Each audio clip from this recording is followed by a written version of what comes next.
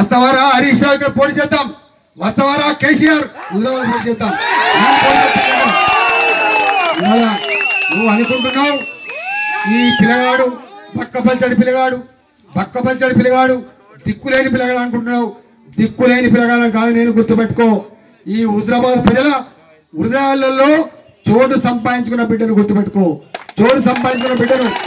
నువ్వు పదేసి లక్షల రూపాయలు రైతు మంది ఇచ్చినా పదిహేను లక్షల రూపాయలు రైతు బంధు ఇచ్చిన మా గొల్ల కురుమలకు గొర్రెలు ఇచ్చిన మీరు మొత్తం కులాల వారిగా దావతులు పెట్టినప్పటికి కూడా ఊర్లకు ఊర్లే బార్లుగా మార్చిన బిర్యానీ తినిపించినప్పటికి కూడా ఓటుకు ఇరవై వేల రూపాయలు ఇచ్చినప్పటికి కూడా ఇవాళ వాళ్ళ గుండెల్లో ఉన్న బిడ్డ ఈతలు రాయిందో తప్ప ఈ ఓట్ల కోసం ఇస్తున్నాడు ఓట్లను తినడానికి ఇస్తున్నాడు తప్ప ఇక్కడ నా కోసం నేను వచ్చి పనిచేసిన వీళ్ళకు నేను వచ్చి పనిచేసి ఇక్కడ ఎంపీటీ గెలవడానికి నేను ఇక్కడ పనిచేసిన ఎంపీ గెలవడానికి ఏం అన్యాయం చేసినని చెప్పి నాకు అన్యాయం చేస్తుండో వాళ్ళ అంతరాత్మకు వదిలిపెడుతున్నాడు.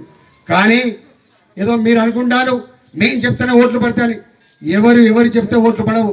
ధర్మమేందో అధర్మమేందో న్యాయమేందో అన్యాయమేందో పనిచేసే బిడ్డవడో పని దొంగ ఎవడో ప్రజలకు తెలుసు. దాన్ని బట్టే ఓట్లేస్తారు తప్ప ఏదో నువ్వు పోయినంత మాత్రం ఓట్లేస్తారని మాత్రం భ్రమలు పడకని చెప్పి హెచ్చరిస్తా ఉన్నా. రేపు చూసుకుందాం.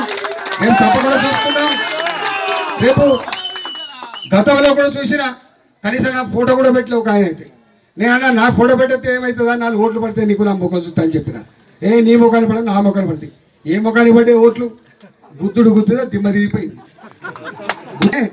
ప్రజలు ప్రజలు చాలా గొప్పవాళ్ళు. ప్రజలు చాలా గొప్పవాళ్ళు. ప్రజలు ఎప్పుడు మాట్లాడరు వాళ్ళు. ప్రజలు ఎప్పుడు మాట్లాడరు వాళ్ళు. సందర్భం వచ్చినప్పుడు మాత్రమే మాట్లాడతారు వాళ్ళు. తాత జాగీర్ లాగా ఓట్లకు పుట్టినని సర్పంచ్ పదవి పదవి ఓట్లకు పుట్టినని ఎమ్మెల్యే పదవి పదవి ఓట్లకు పుట్టిన నీ ఎంపీపీ పదవి ప్రజల కోసం వాడే ప్రయత్నం చేయాలి తప్ప ప్రజల మీద దౌర్జన్యం చేసే ప్రయత్నం చేస్తే కళ్ళు నెత్తికెక్కి పిచ్చి పిచ్చి ప్రయత్నం చేస్తే ఎట్లా కర్రు కాల్చి వాత పెట్టానో ప్రజలకు తెలుసు తప్ప నాయకులు తెలియకపోవచ్చు అని చెప్పి నేను ఈ చెలుపూరు గ్రామ ప్రజల్ని విజ్ఞప్తి చేస్తా ఉన్నా చెప్పుకుంటూ పోయే చాలా ఉంటాయి. ఇవాళ నేను పన్నెండు పదమూడు రోజుల పాటు పాదయాత్ర చేసి నేను బయటకు వచ్చిన. ఒక్క బల్కపల్చడి నా ఈటల రాజేందర్ మీద ఎంతమంది మంత్రులు వచ్చి కొట్లాడుతాండే ఎంతమంది ఎమ్మెల్యేలు వచ్చి కొట్లాడుతాండ్రు? ఇవాళ సిద్దిపేట నుంచి వెళ్ళి ఇదే చెలుపూరు గ్రామానికి యాభై మంది వంద మంది వచ్చిరట రెండు వందల మంది రెండు వందల మంది వచ్చిరట కానీ ఒక్క మాట అడుగుతారా లేదా అని అడుగుతున్నాను మిమ్మల్ని. అవునా? ఈటల రాజేంద్ర అంటోడు ఒక మనిషి మీద సిద్దిపేట నుంచి ఒక చెలుపూరు గ్రామానికి రెండు వందల మంది వచ్చి ఆయన బొండిగ పిసికి ప్రాణముండగానే బొంద పెట్టే ప్రయత్నం ఎందుకు చేస్తున్నారని చెప్పి అడుగుతారా లేదా మీరు చెప్పండి. కోసం వచ్చింది. మీ దగ్గర మీ దగ్గర అది రాలేదు మేము అడుగుతాం. అడుగుతా ఉన్నా. అడుగుతాం సార్. మీ దగ్గర ఏమైతే చేసుకున్నారో మా దగ్గర అదే చేసుకున్నాం మేము. నువ్వు ఎట్లా కష్టపడి పని చేసినావో మేము కూడా గట్ల పడి పని చేసినాం. ఇవాళ ఏ గ్రామానికి పోయినా బిడ్డ నీకు అన్యాయం జరిగింది. నీ కళ్ళలో మట్టి కొట్టిండ్రు. వాళ్ళ భరతం భరతం చెప్పి ఇలా శపథం చేస్తూ ఉంటే నన్ను ఓడగొట్టడానికి ఐదుగురు మంత్రులు పనిచేస్తాను. కమలాపూర్లో ఒక మంత్రి పనిచేస్తాడు. హుజరాబాద్లో ఒక మంత్రి పనిచేస్తాడు. జమ్మిగుంటకు ఒక మంత్రి వచ్చి తన దగ్గర మాత్రం ఏం చేసుకోడు కానీ ఇక్కడ ఇంటికి తిరుగుతాడు. వేణువెంకలు ఒక మంత్రి పనిచేస్తాడు. గింతమంది మంత్రులు గింతమంది ఎమ్మెల్యేలు మొత్తం ఊర్లో కూడా దావతలు పెట్టి బిర్యానీలు తినిపించి వార్డు మెంబర్కి ఇంత కావాలి సర్పంచ్కి ఇంత కావాలి ఉప సర్పంచ్కి ఇంత కావాలి ఎంపీటీసీకి ఇంత కావాలి సంఘ పెద్దలు కూడా పిలుచుకోవాలి నేను అడుగుతా ఉన్నా మీకు దమ్ముంటే రా ధైర్యంగా. మేమేం చేసినామో మీరేం చేసినామో కలిసి చెప్పుకోవాలి కానీ మీకు దమ్ము లేదు. ఓడిపోతామనేటువంటి భయంతో పిచ్చి పిచ్చి పని చేస్తుంది తప్ప ఇంకోటి కాదని చెప్పి హెచ్చరిస్తా ఉన్నా. నేను చేసినటువంటి పని ఏదో వస్తూ ఉంటుంది. రెండు వేల పద్నాలుగులో రాష్ట్రం వచ్చిన తర్వాత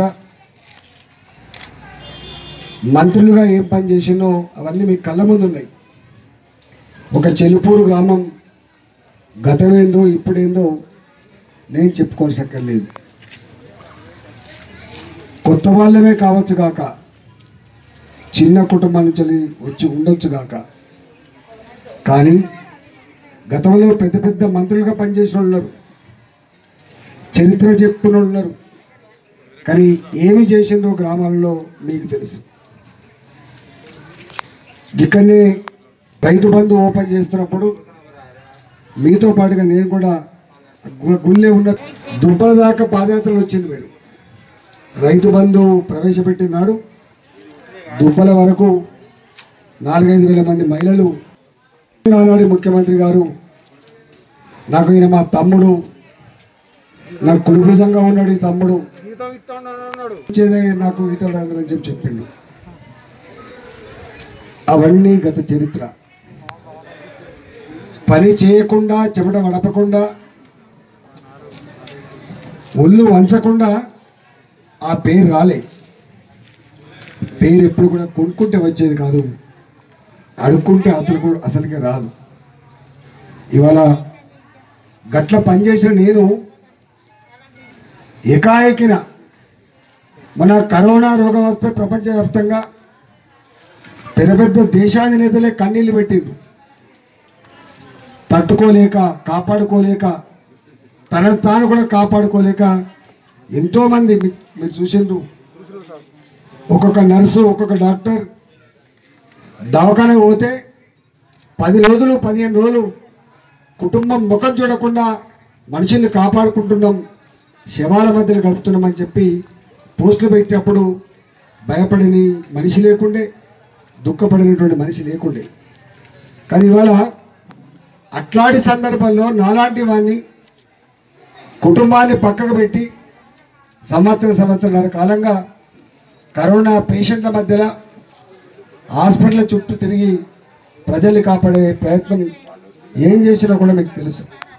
ఇవాళ బయటికి వెళ్ళినా నేను రేపు రేపు ఉరుములు పడ్డా ఉరుములు ఉరిమినా పిడుగులు పడ్డా రేపు ఎప్పుడు ఎన్నికలు వచ్చినా కూడా నేను మళ్ళీ చెప్తున్నా మీరు ఎన్ని వందల కోట్లు ఒక్క ఈటల రాజేందర్ మీద వెయ్యి కోట్లైనా ఖర్చు పెడతారట. ఒక ఈటల రాజేందర్ కాన్స్టిట్యూన్సీలో ఐదు వేల కోట్ల రూపాయలు జీవోలు ఇస్తారట. మీకు ఇవాళ హాస్పిటల్ పక్కకే కట్టిస్తాను వచ్చింది మా వాళ్ళు నమ్ముతాను గొర్రెలెక్క నమ్ముతాను వచ్చిందా ఎప్పుడైనా మాట్లాడిన ఎప్పుడైనా ఒక్క మంత్రి అయినా అంతకుముందు వచ్చిందా ఒక్క ఎమ్మెల్యే అయినా వచ్చిందా వస్తే నేను వచ్చిన. ఎందుకు వాళ్ళకి ప్రేమ? వాళ్ళకు ప్రేమ ముదిరా సంఘ ఓట్లు రెండు వేలు ఉన్నాయి ఈ ఓట్లు పడాలని చెప్పి ప్రేమ. ఇక ఈటల్లో అందరూ కానీ ఓడగొట్టాలంటే ఈ ఓట్లు కావాలని ప్రేమ. మరి నన్ను బొండిగా పిసుకునే ప్రయత్నం చేస్తున్నప్పుడు నన్ను కాపాడుకుంటారా? నన్ను కాపాడుకుంటారా? నన్ను చంపుకుంటారా అది మీ చేతిలో ఈ మొత్తం గ్రామాల్లో దళిత బిడ్డలు కావచ్చు ముదిరాజు బిడ్డలు కావచ్చు మా గౌడ సోదరులు కావచ్చు ఇతర మా రజకులు కావచ్చు మా విశ్వ బ్రాహ్మణులు కావచ్చు అందరికి కూడా ఈ బిడ్డ కులం కోసం ఉన్న బిడ్డ కాదు మతం కోసం ఉన్న బిడ్డ కాదు. ఎక్కడ ఆకలి ఉంటుందో ఎక్కడ దుఃఖం ఉంటుందో ఆ ఆకలిలో ఆ దుఃఖంలో భాగం పంచుకునే బిడ్డ ఈ బిడ్డ గుర్తుపెట్టుకోండి. ఎక్కడ సాగున్నా ఎక్కడ బాధ ఉన్నా ఇంకా సాయం చేసిన బిడ్డ తప్ప చేయి సాపే బిడ్డ కాదని చెప్పి గుర్తుపెట్టుకో. ఇవాళ ఎట్లా ఉన్నాడో రెండు వేల నాలుగులో వచ్చినా ఎట్లా ఉన్నాడో ఇవాళ గట్టినే ఉన్నా రేపుడు గట్టినే ఉంటుంది తప్ప నాకు మాత్రం ఎప్పుడు అహంకారం పెరగదు. నేను ఎప్పుడు చెప్పుకోను. వచ్చి మీ కళ్ళ ముందు ఒక రోడ్ ఉంటుంది. ఇవాళ చూసినా ఎక్కడైనా ఉన్నాయా? ఇక్కడ పనిచేసే ఎమ్మెల్యేలు ఉన్నారు. ఒక్క నియోజకవర్గంలో ఇట్లాంటి రోడ్లు ఉన్నాయా చూసినామని చెప్పండి. ఇట్లాంటి చెక్ డ్యామ్లు ఉన్నాయా చూసినామని చెప్పండి. ఇట్లాంటి బ్రిడ్జిలు కట్టినా చూసినామని చెప్పండి. వాళ్ళు మాత్రం పని చేయరు. పని చేసిన వాళ్ళు మాత్రం పొందబెట్టే ప్రయత్నం చేస్తారు. నేనన్నా వడ్ల కొనుగోలు సెంటర్ల గురించి. మీకు తెలిసి ఐకేపీ సెంటర్లు ఉంటాయి ఊర్లలో ఐకేపీ సెంటర్లో వడ్లు కొంటాం. ఆ వడ్లు కొంటే కూడా తీసుకపోతే నాలుగు కిలోలు కట్ చేస్తారు ఐదు కిలోలు కట్ చేస్తారు బస్తకు. నలభై కిలోల బస్తకు నాలుగు కిలోలు కట్ చేస్తారు మూడు కిలోలు కట్ చేస్తారు క్వింటాలు పెట్టడం పది కిలోలు కట్ అవుతున్నాయి ఇప్పటికే పరిస్థితి మంచిగా లేదు. మళ్ళీ ముఖ్యమంత్రి చెప్పిండు వడ్ల కొనుగోలు కొనకపోతే వడ్లు కొనకపోతే రైతుల బతుకులు అధోగతి పాలవుతాయి దయచేసి అర్థం చేసుకో ఐకేపీ సెంటర్లు ఉంటాయి వడ్లు కొంటాయని చెప్పిన బిడ్డ. అందుకే ఇవాళ నాలాంటి రైతుల కోసం మాట్లాడుతున్నప్పుడు నాలాంటి వాడిని పెన్షన్ల కోసం మాట్లాడుతున్నప్పుడు నాలాంటి డబుల్ బెడ్రూమ్ గురించి మాట్లాడుతున్నప్పుడు నాలాంటి నిరుద్యోగ బిడ్డలకి ఉద్యోగాల గురించి మాట్లాడుతున్నప్పుడు నిరుద్యోగ పిల్లలకి మూడు వేల నూట పదహారు రూపాయలు ఇస్తా అని చెప్పినప్పుడు గట్లాంటి అడిగితే నా మీద కక్ష కట్టి పనిచేసింది తప్ప నీ బిడ్డ గుర్తుపెట్టుకో మచ్చ తేడి బిడ్డ గుర్తుపెట్టుకో ఎవరికి చేయి బిడ్డ ఈ గుర్తుపెట్టుకో ఎక్కడ కూడా సాయం చేసిన బిడ్డ తప్ప ఎక్కడ కూడా ఇంత కష్టంలో ఉన్న వాళ్ళని ఆదుకున్న బిడ్డ తప్ప ఇంకోటి కాదని చెప్పి మీకు మనవి చేస్తూ ఇవాళ ఈ చెలుపూరు గ్రామం ఖచ్చితంగా అందరికందరు అందరికందరూ ఇలా ధర్మానికి న్యాయానికి కష్టపడ్డ మీ బిడ్డకు గెలిపించుకోవాలని చెప్పి నా గుర్తు కమలంపు గుర్తు నా పార్టీ భారతీయ జనతా పార్టీ నా భారతీయ జనతా పార్టీని గెలిపించమని చెప్పి కోరుతూ సెలవు తీసుకున్న జై తెలంగాణ.